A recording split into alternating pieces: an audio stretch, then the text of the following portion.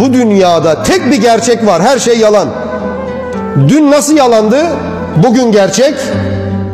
Bu dünyada tek bir gerçek var. Ölüm. Başka bir şey yok. Hastalık yalan. İyileşince geçiyor. E iyileşemedin ölünce bitiyor. Topal ölsen ahirette yürüyeceksin. Kör olsan ahirette göreceksin. Her şey yalan. Para yalan.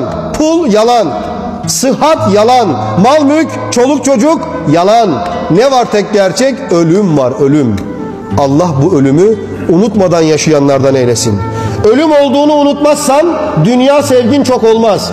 Ölüm olduğunu unutmazsan birine kötülük yapmaktan elini geri çekersin. Hesap ver dersin. Ölüm olduğunu unutmazsan biri sana bir zarar verdiğinde nasıl olsa ahirette alacağız deyip aşırıya gitmez. Gitmez.